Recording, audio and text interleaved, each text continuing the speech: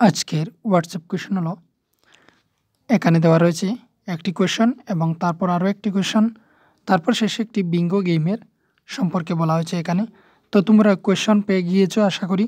তো সেখানের মধ্যে একটি লিঙ্ক ভিডিও লিঙ্ক পেয়ে গিয়েছো। এই ভিডিও লিঙ্কে গিয়ে তোমরা অবশ্যই সেখানে গিয়ে বিঙ্গো গেম সম্পর্কে জেনে নেবে, কীভাবে সেই গেমগুলো করতে হয়। তো এখানে ভিডিওর সাহায্যে দেখানো হয়েছে, তোমরা অবশ্যই সেখানে গিয়ে দেখে ভালোভাবে বুঝে নেবে কোয়েশনের মধ্যে পেয়ে গিয়েছো। তাহলে এবার আসি প্রথম কোয়েশনের মধ্যে। তো কাশি খন খন ফুড়া ঠন টন মাঝ, মাছি বন বন থালা জন জন এইরকম চার লাইন কবিতা লেখো এবং বাড়ির কোনো সদস্যকে শোনাও।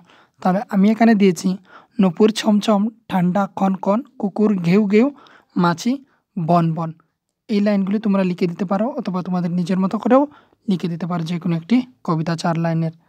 তবে অবশ্যই সেটা এইভাবে হতে হবে, এখানে যেভাবে দেওয়া রয়েছে। কাশি কন কন ফুড়া টন টন মাছি বন বন থালা ঝনঝন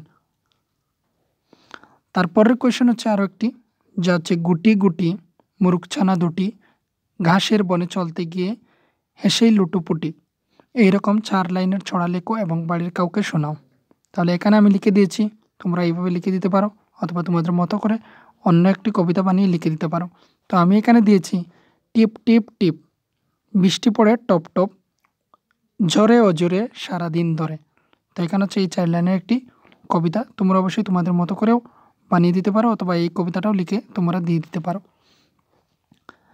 তারপর বলেছি এখানে একটু কেলো একটু পড়ো। এই বিঙ্গো গেমের সম্পর্কে তো তোমরা অবশ্যই এই ভিডিও লিঙ্কে গিয়ে সেখান থেকে দেখে, শিখে এবং ভিডিও বানিয়ে সেটা পাঠিয়ে দিতে পারো তোমাদের হোয়াটসঅ্যাপ গ্রুপের মাধ্যমে।